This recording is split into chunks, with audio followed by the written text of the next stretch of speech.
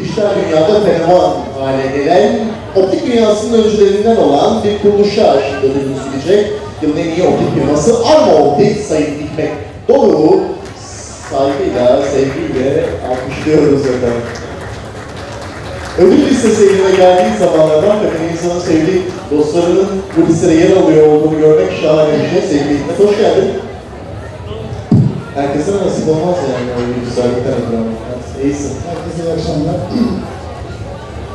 Ödülün bir insana ne kadar motive ettiğini güzel örneği geçen sene de ödül aldım. Bu sene almak için o kadar çok gayret gösterdim ki takipçi sayımız çok fazla arttı. Şu anda Instagram'da bir numaralı lens mağazası olduk. Ve bu ödülde bütün bu hale gelmeme sebep olan müşterilerime, arkadaşlarıma hitap ediyorum. Başta burada aktif olmak. İyi akşamlar. Çok teşekkür ediyoruz. Sevgiyle selamlıyoruz.